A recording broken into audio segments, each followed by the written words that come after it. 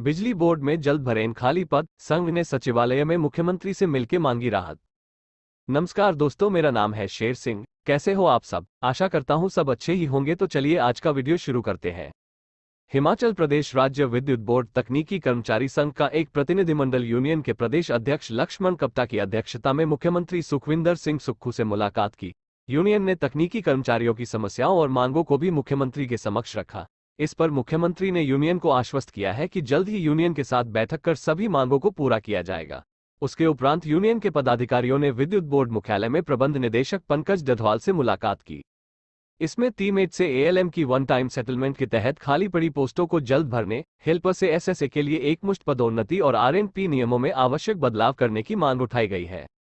इस पर प्रबंध निदेशक ने आगामी सर्विस कमेटी की मीटिंग में इन सभी मांगों को पूरा करवाने के लिए यूनियन को आश्वस्त किया है।